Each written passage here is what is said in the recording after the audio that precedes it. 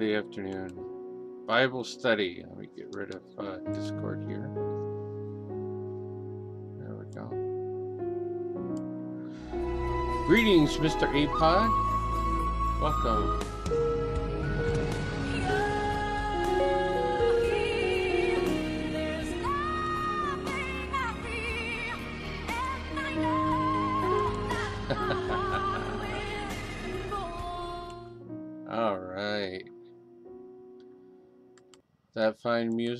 By Deputy Keys. Used by permission.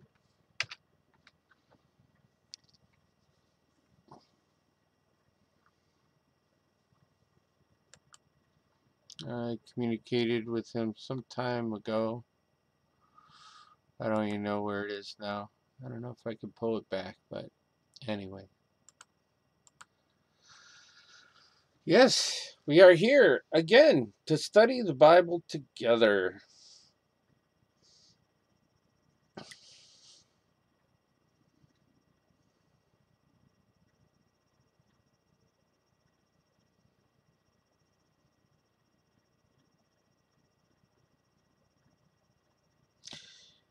Yeah, let's go ahead and open with prayer. Very good to see you, Mr. Epod. So glad you can make it. And uh, yeah, let's pray for this Bible study. Oh, well, thank you. Uh, I have the blinds open, so there's sunshine coming in. I s- Ooh, we get a puppy here. How old are you now? You're like two years old, aren't you?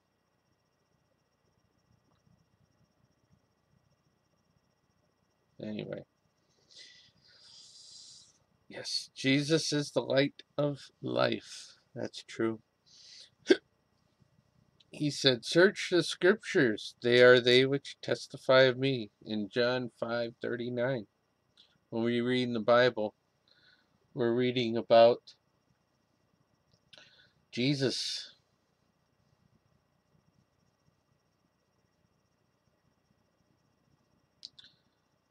Whether it was events and prophecies leading up to the coming of the Messiah, or his life, or events and prophecies concerning his return. It all points to Jesus, whether Old Testament or New. Amen. Lord Jesus, we pray, God, that you bless this study uh, here together in your sight. We pray, Lord, for the spirit of wisdom, your wisdom, and enlightenment to illuminate our hearts and minds. We pray, God, that you protect this time that we have together.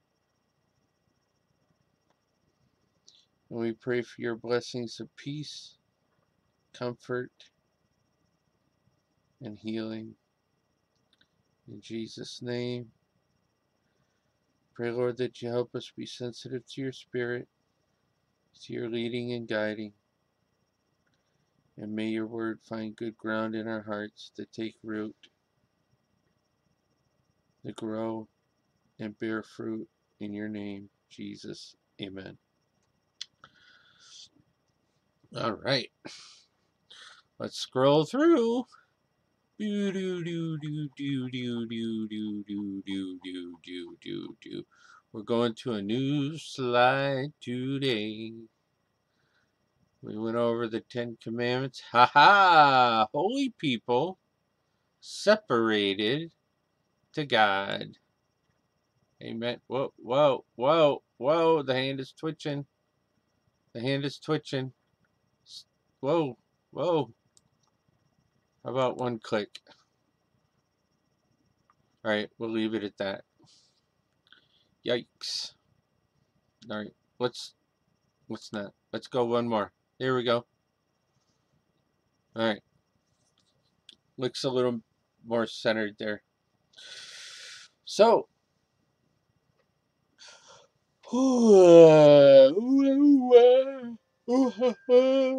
Pardon me.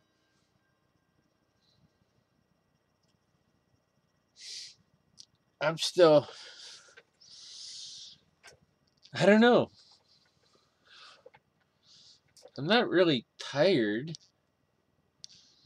I guess I. Mm,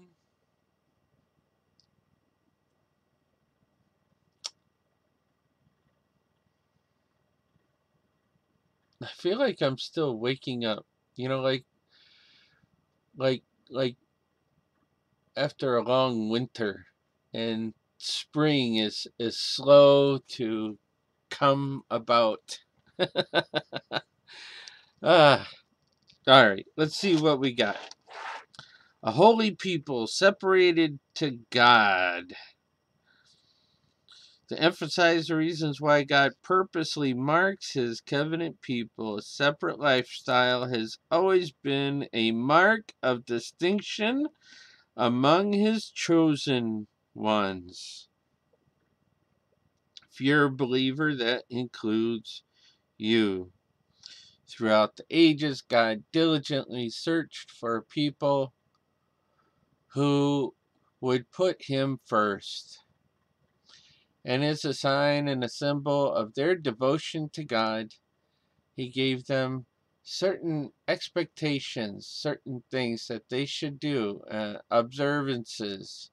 And here we, we see a list of them in uh, Deuteronomy 6 4 through 9. Let's look at that. It says that they are to teach their children to worship one God. Deuteronomy 6, 4 through 9. Let's look at that. Deuteronomy 6, 4 through 9. Hear, O Israel, the Lord your God, the Lord is one. You shall love the Lord your God with all your heart, all your soul, and with all your strength. And these words which I command you today shall be in your heart. You shall teach them diligently to your children, and shall talk of them when you sit in your house, when you walk by the way, when you lie down, when you rise up. You shall bind them as a sign on your hand. They shall be frontlets between your eyes. You shall write them on the doorpost of your house and on your gates. Let's see. Uh, let me see something here. I'm going to open up a new window. Can we see that?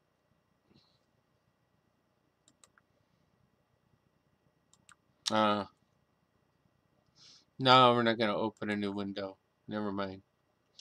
We'll keep the old window. We'll open up a new tab instead. All right. Um, Torah. That's what they call the scroll of the Old Testament, the Jewish Holy Scriptures in the form of a scroll. All right. Handwritten on lamb skin, lamb or goat skin. It's also called vellum. All right. Let's see if I can, if it'll show uh, something else.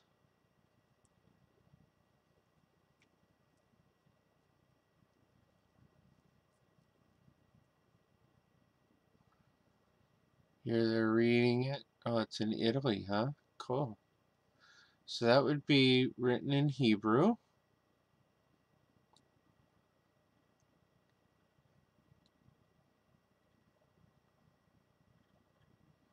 Here we go. You can see this picture.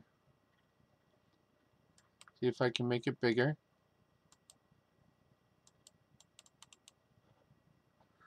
Here he's at the western wall.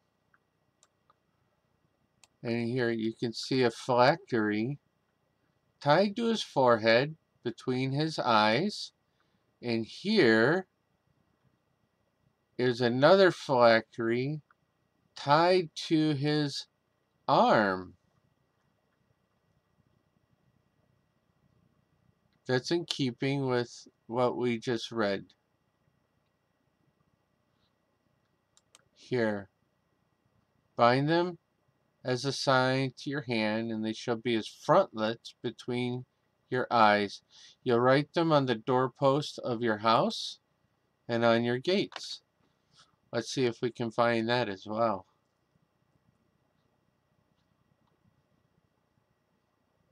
They they have a uh, name for that, which escapes me at the moment. But we'll see if we could just find it in a random picture.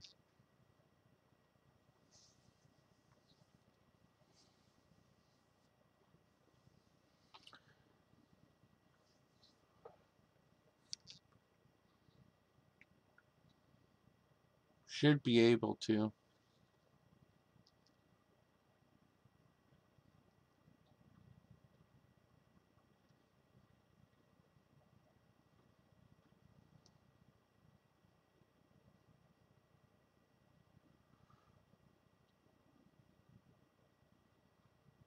This is where uh, Leonard Nimoy got the Vulcan hand sign from when he was a boy and he'd go to synagogue. This is the the sign the priests would make. It looks like a Hebrew letter, and they would uh, hold hold up their hands like that while they uh, pronounce a blessing over the people.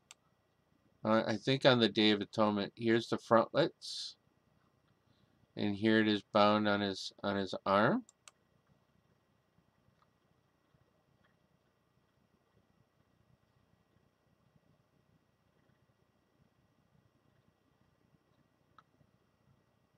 I'm not I'm not seeing it on the doorposts. So let me put doorposts here in the search so we can see that.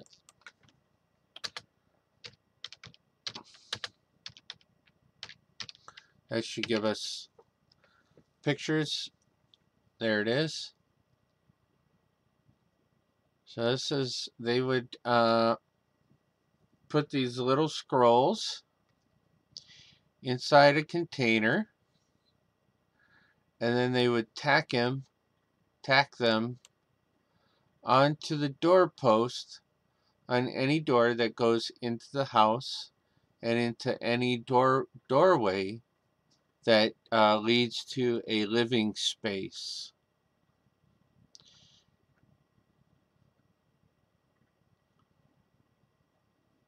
It's called a what? A mezuzah. Let's look at that. Why would they put a mezuzah? Declares the people who dwell here live Jewish Jewish lives. Remember, God wanted his people to be distinctive from the other nations around them, uh, show that they live for God. It's true for, okay. Uh, Jewish household is created by people who live in it by the way they act, the things they do and don't do, the beliefs they hold. To a great extent, a Jewish way of life is a portable faith. You can take it with you anywhere you go. So that's what we just read about in Deuteronomy, the law. He says, You shall teach the laws, the commandments of God. They'll be in your heart Teach them to your children diligently. Teach them diligently to your children. And talk of them when you sit in your house. When you walk down the street, walk down the way. When you go to the dog park with your dog. When you walk to the bus stop, while you're on the bus, going to work, while you're in the train, when you lie down, When you rise up, you get the meaning? And you'll mark your house and all your living spaces so that people will know that you are dedicated to God, so that your children will know that you are dedicated to God and you expect them to be dedicated to God. And you're to be mindful of God. Mm, even if you're sitting in your house alone or you're with others, you should be mindful of your conversation, that it should reflect your relationship with God. That others can see that you are different, that you serve the one and true and living God. And this started with Abraham.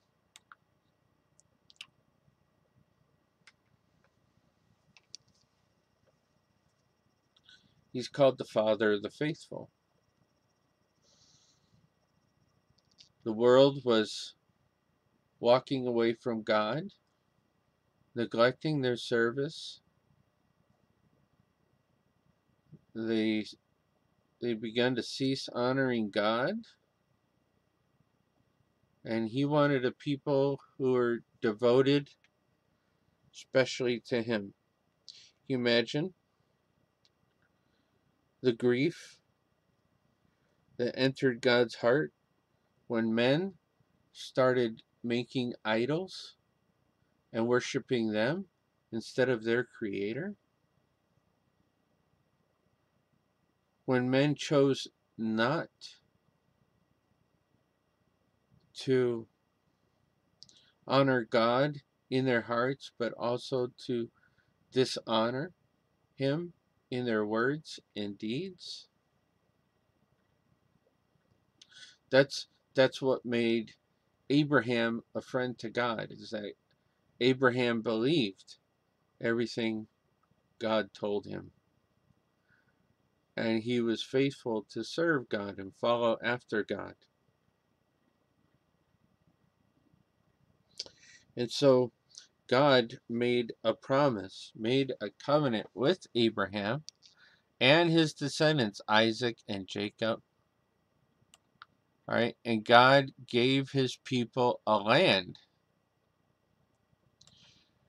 He after he after he delivered them out of Egypt, he brought them into a land that was centrally located between three of the the major populated continents. Israel is God gave his people this land for a reason. Let's look at where Israel is situated. Let's look at it. Okay, yeah, it's pretty. Ooh, that's a really nice picture. I like that one. Because it just doesn't show uh, the mosque, but it also shows the Israeli flag. You know, there's religious freedom in Israel.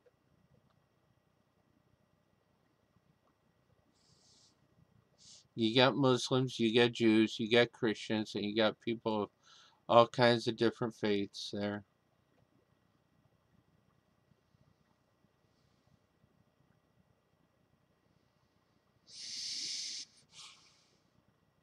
Hmm, let's look at a map though. I think map will show me what I want a little better. Here we go. Oh, here we go. Alright, see what we got here? We got Africa. You go right past Israel. You got Europe to Africa, right past Israel. Asia going into Africa, right past Israel. From the Mediterranean,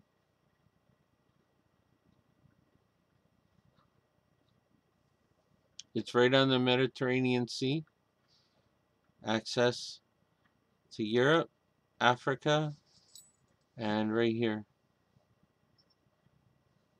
So, it's a major crossroads. Why did God put his people there? Why did he put Israel there?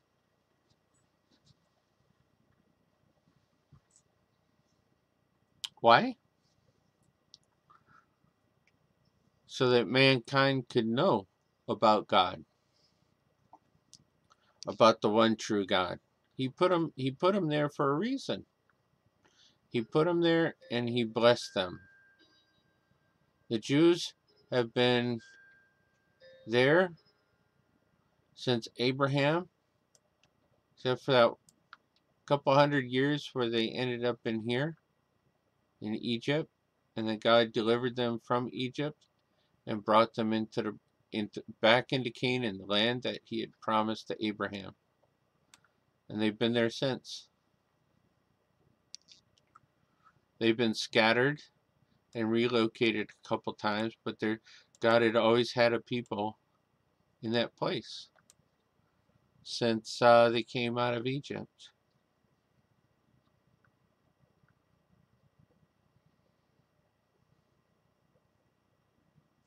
They were uh, reestablished as a nation in, uh, let's see, what year was that? Was it 48? 49?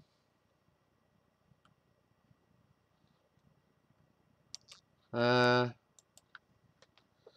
the state of Israel. Yeah, 48. When uh, uh, the UN, as you know, is uh, rather hostile to the state of Israel um, but God used the UN to reinstitute uh, officially Israel as a nation. 14 May 1948. Okay.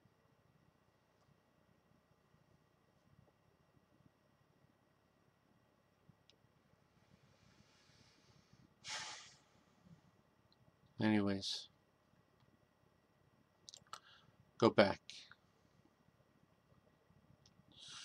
So the tabernacle got established as a place of worship. It was mobile and it moved with the people. They would pack it up and move it anytime God said it's time to move. Exodus 25 27, 30, 35, 40. Let's look at Exodus.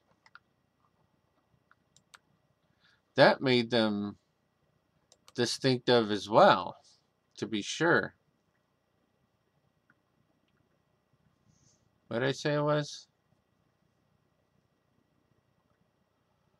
The Ark of the Testimony. All right. So here we go. Uh, do, do, do, here it is. Then the Lord spoke to Moses, saying, Speak to the children of Israel, they bring me an offering from everyone who gives it willingly with his heart. You shall take my offering. You see, uh, God, God doesn't need your money because He owns everything. The hills are his. The cattle on a thousand hills are his. The earth, the sky, all the gold that's in the ground. Okay? The Lord giveth, the Lord taketh away. We came into this world with nothing. We'll leave this world with nothing. Blessed be the name of the Lord. Yeah? It's his heir. You see, giving is so that you can participate.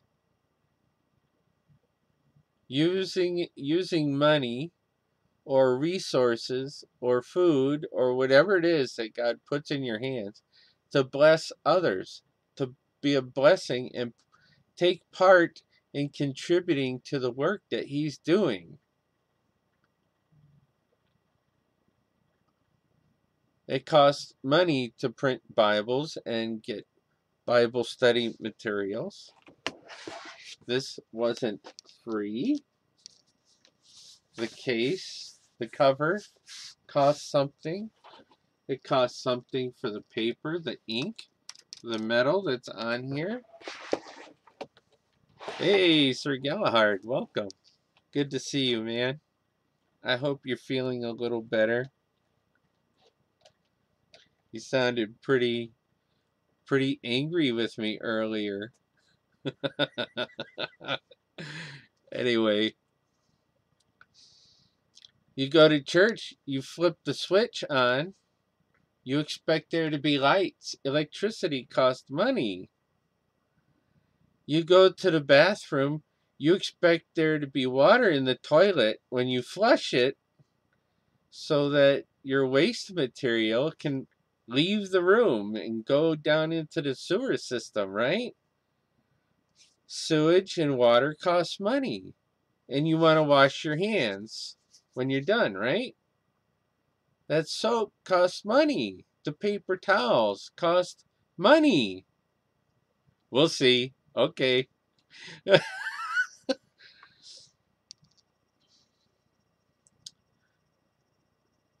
the sound equipment cost money. Of course, if you're in a smaller place or you're doing home Bible studies, still, the minister, now we arrive to the subject. Yeah. Uh, if if your minister, pastor or Bible teacher or whatever, if they work, if they work a secular job, that's time away from study and preparation. They have less time to study and prepare, to teach and to preach and to reach their community. If if the minister, the man of God, the teacher, the preacher, whatever, is devoted to full-time ministry, then yes, that costs money especially if they have a family support to support. You know? But God wants God wants it to come from a willing heart. A willing heart. God doesn't want you to give to his work grudgingly. God loves a cheerful giver not a disgruntled giver. You know? So he says, that they may bring me an offering from everyone who gives it willingly with his heart, you shall take my offering. He doesn't give the command. You will give me so much. You will give me 10%, or you will give me this. You will give me that. No, he says he wants it willingly. God loves a cheerful giver, not one who gives because they feel like they have to. But I'm I'm happy to uh, support God's work, support his kingdom, support what our church is doing. You know. He said, And this is the offering which you shall take from them gold, silver, bronze, blue, purple, and scarlet thread, fine linen, goat's hair, ram skins dyed red, badger skins, acacia wood, oil for the light, and spices for the anointing oil and sweet incense, onyx stones, stones to be set in the ephod and the breastplate, and let them make me a sanctuary that I may dwell among them, according to all that I show you, that is the pattern of the tabernacle and the pattern of all its furnishings just so you shall make it. And then he gives the particulars of how the ark of the testimony, you remember Raiders of the Lost Ark, just how it would be look. All right. This is where they would keep the Ten Commandments inside. Uh, Aaron's rod that budded, a pot of manna as it was collected. And the brazen serpent would later go in there. Let's see, do we got a picture? Here it is. Here's the tabernacle. And you see, and God would meet here in this tabernacle with his people as they came to him in worship. There's the altar of sacrifice, the brazen laver where they would wash. Okay? And inside is where the high priest would go.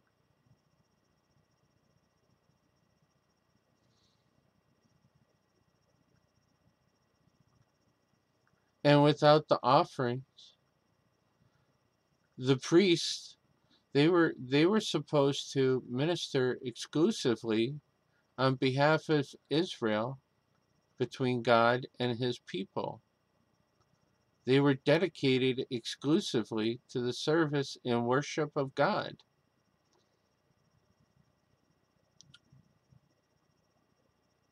And here's what happened. When people stopped giving, these people to survive and and to provide for their families would have to go out and become farmers and things like that.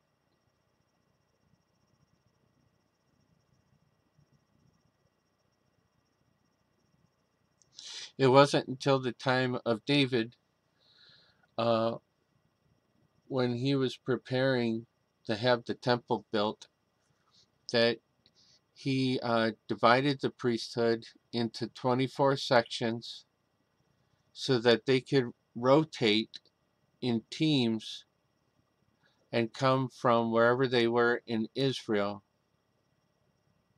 uh, once a year. So every two weeks, a new team would take over because it was a lot of work. As as Israel grew, and there was uh, there were more sacrifices to be made. It had to be very organized. And there were a lot of other things that the priests had to do in service to God. And if they're not, uh, and if they were out there farming and whatever else to support their families, that meant that they weren't available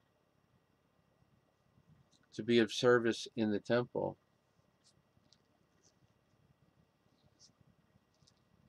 And that happened before. That happened before. That means they're not available to teach the people because they're out there in the fields. Farming's hard work, you know. Raising a family is hard work.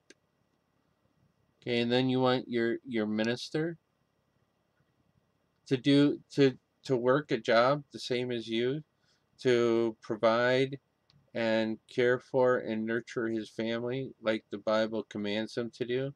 And then on top of that, you want him to teach and preach and prepare uh, sermons and Bible studies and organize uh, events and services and lead those things and uh, to keep your church connected with other churches in the area and to minister to individuals and to families.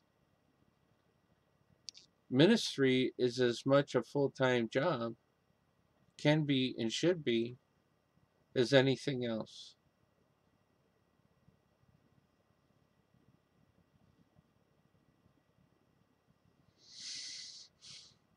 and many ministers uh, they took the time and and the money invested their lives and their fortunes into um, educating themselves for this vocation.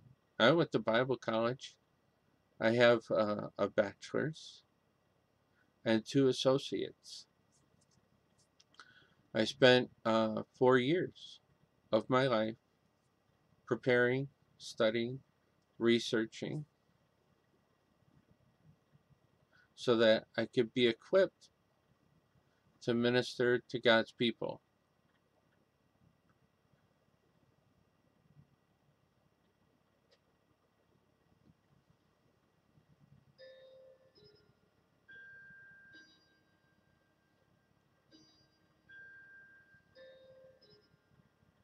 Time, money, resources. You see?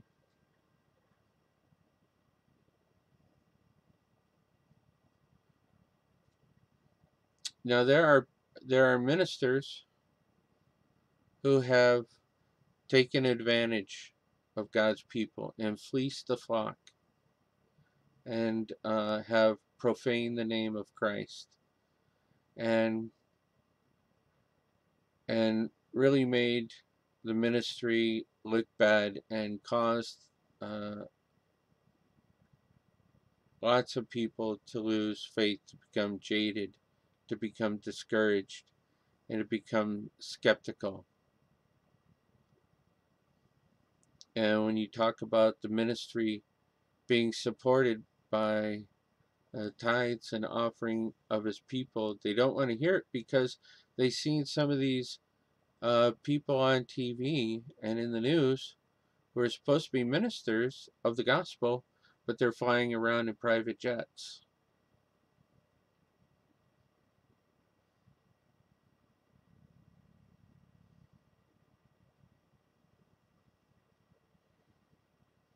Yeah.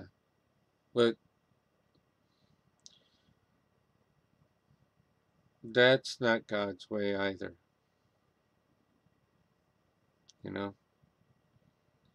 Having your, your minister in the poorhouse is not the way either. You know? Just as we want the man of God to look after the people of God, the people of God should be looking after the man of God. You see how that works?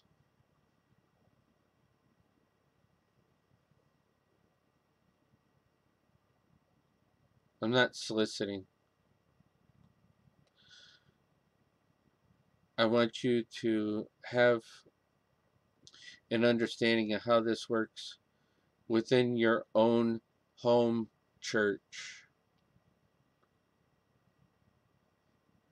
You know, where you go to church and the offering basket goes around.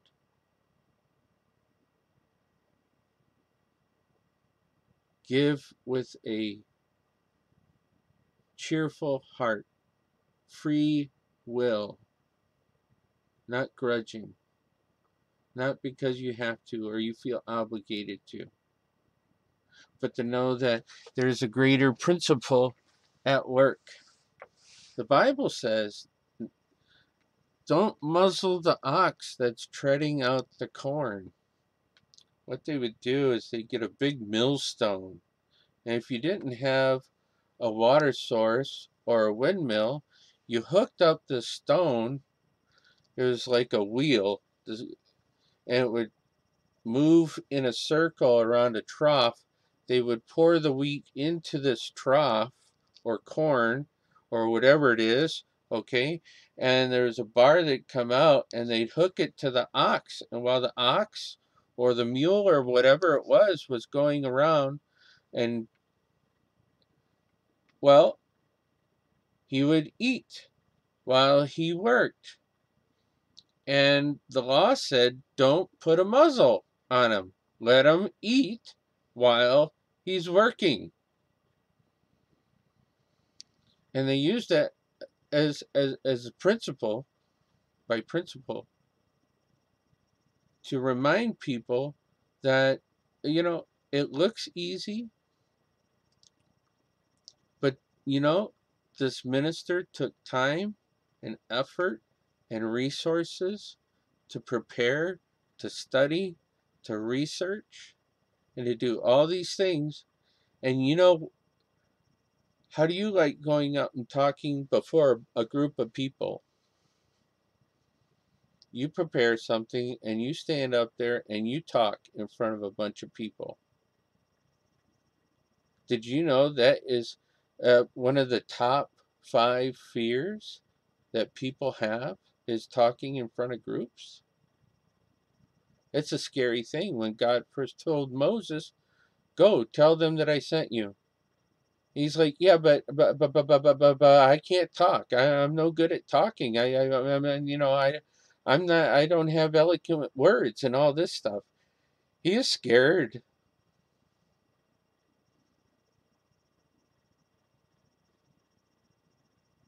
People would rather walk into a room full of snakes and sit in a dentist chair in the dark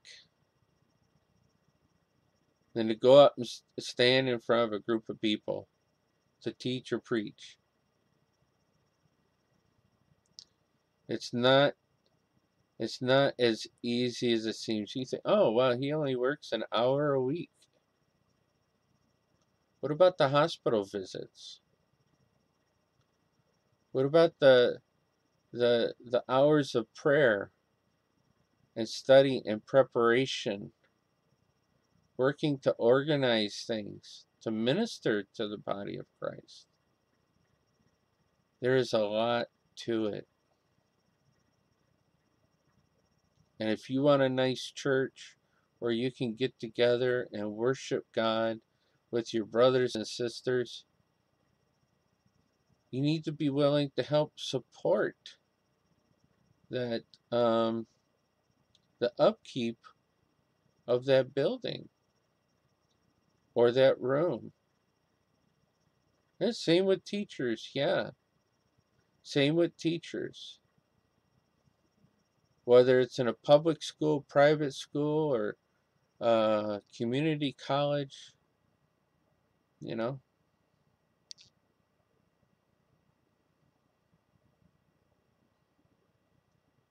grading papers, making tests, you know.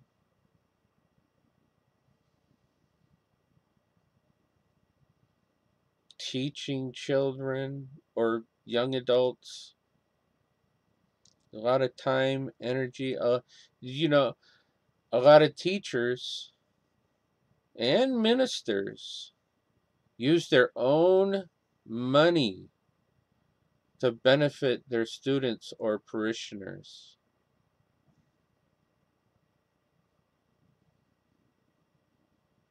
I know teachers that go and buy materials for their students comes out of their own pocket because it's not in the school district or the school budget.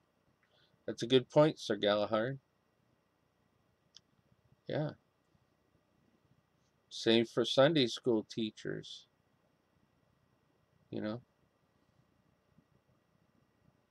like this this this book that I've been using as a guide for the last year is borrowed the Sunday school material these textbooks I got these church said they'd reimburse me but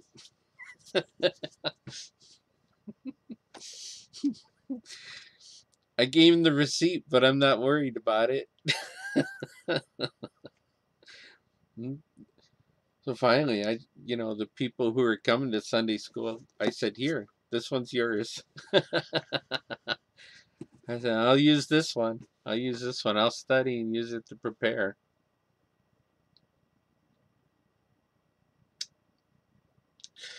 It's part of being separated and distinctive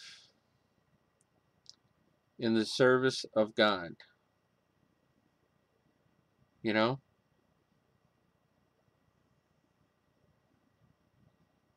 We distinguish ourselves from other religions. You know, religion comes from uh, the base word, the base, the root of religion. What does that mean? Bound religion. definition. Let's let's look at it. The belief and reverence of a supernatural power, power, particular variety of belief, organized system of doctrine, belief, values. Okay. Definition and meaning. Uh, what about where it comes from? Uh, definition, types, lists, symbols. Uh,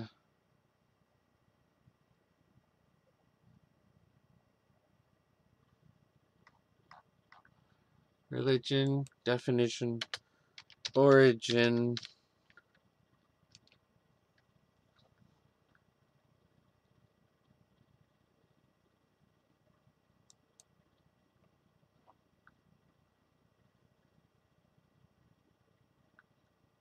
used to mean only reverence for God or gods, careful pondering, uh, derived to mean diligence, the manner of life, higher unseen power, 1530s, related to religion. Come on, we can go back further than that, can't we?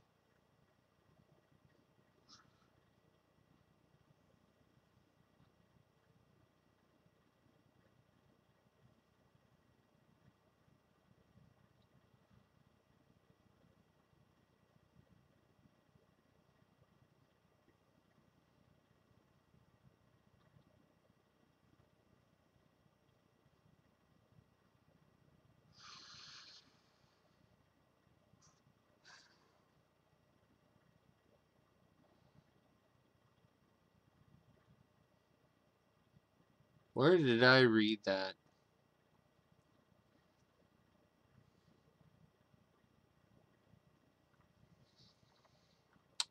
Yeah. Uh,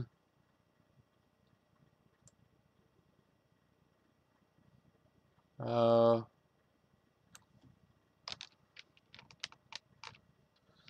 the word religion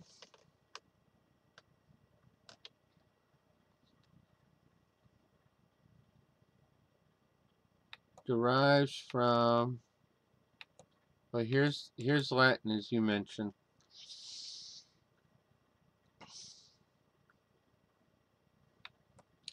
Philosophy.com let's see what we got there. Uh, religare mean in Latin. We'll look at Hebrew after that. I hit that thing. Oh, that's table contents.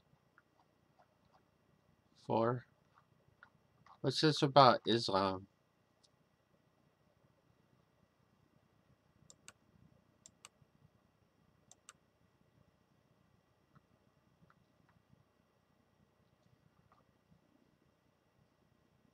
To bind or connect. Oh, bind. Bound. Here we go. Ligare. Alright. So, to not be bound, thank you, Shackelford, by your religion, you need to have relationship with God. And uh, Christian faith and the Judy uh, in Judaism that's based on you know having a relationship with God and the the wider community of believers in God. All right, let's get back on track. Um. Oh.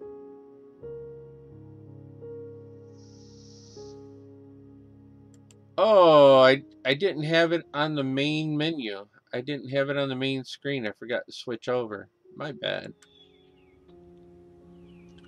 That's actually all the time that we have now. Anyways, God wanted a people that were distinctive in service to Him holy people separated to God, to teach their children to worship the one God, and to have a place and support the place and the people uh, where they get together to worship. We'll look more at the priesthood and all that stuff later. Next time. It's already one o'clock. So let's go ahead and pray. Amen. Uh, go ahead and put your prayer requests in the chat. We're going to pray for uh, Jacob's family. He just tragically lost his uncle. And uh, we'll pray for Burns and Galahad and Shackelford. Anybody else who wants prayer, go ahead. Throw your hat in the ring. Let us know what it is that you need prayer for. We'll pray with you, pray for you, whatever it is that you need. Let's keep this Bible study in prayer so that we can continue to be a blessing to others and reach more people with the truth of the gospel of Jesus Christ. We thank you, Lord, for this time that we've had to study your word, to take our time exploring. And uh, we thank you for the peace of your spirit that we feel in this place right now.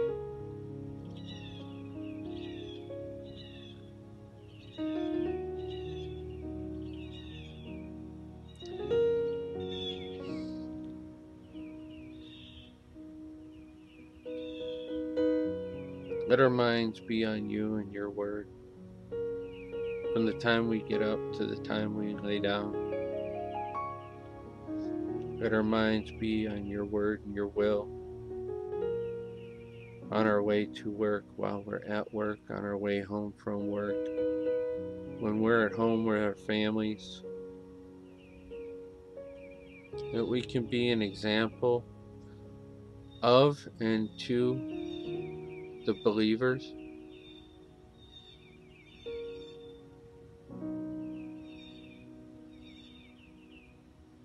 That we would serve you with joy.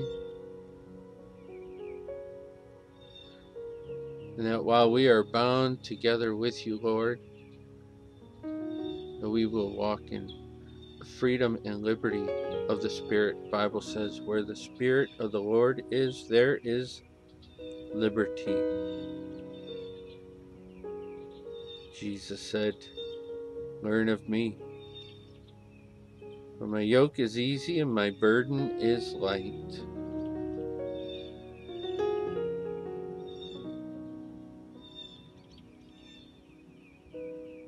We pray, Lord, for uh, Shackelford's healing. Let's pray for Trekkie, that you heal Trekkie, Lord, and that you provide for him. We pray for Cheyenne. Yes, Lord. We pray for those who are suffering from that war. We pray, God, that you send your angels to minister help and healing and provision and safety.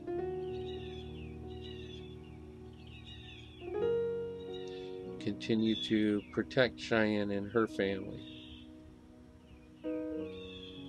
Pray, God, that you comfort Sir Galahad and give him peace.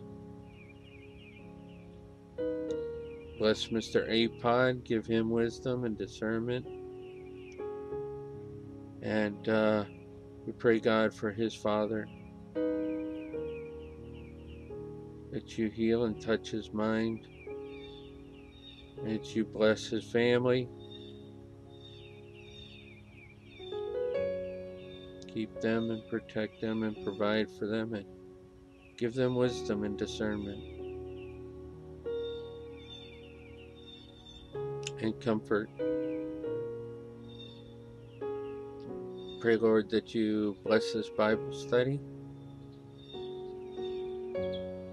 That we can continue to reach people with the gospel Yes, Lord, we pray that you bless and keep Lucky, minister to him and his needs. Help Mr. Apod's dad lose lose some weight in a healthy manner. We pray God for our fellow streamers that need comfort and healing. We pray, Lord, that you send your spirit to them. Send your angels to minister to them, protect and comfort. Help them to know you and learn of you, Lord.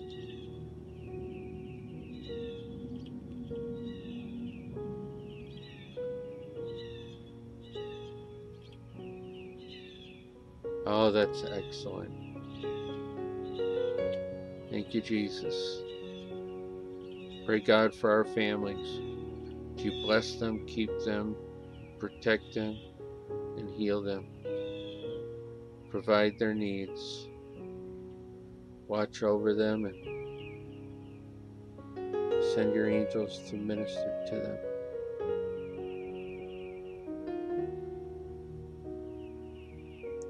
We're grateful to you, Lord. I ask your blessing upon each person here.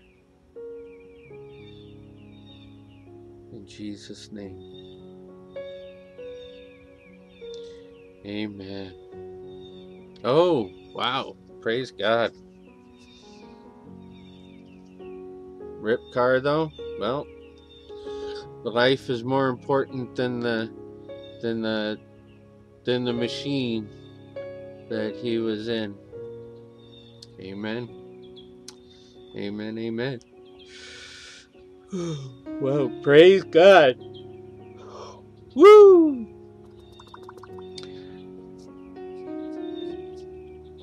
Time to get cleaned up for church. God bless everyone. We'll see you next time.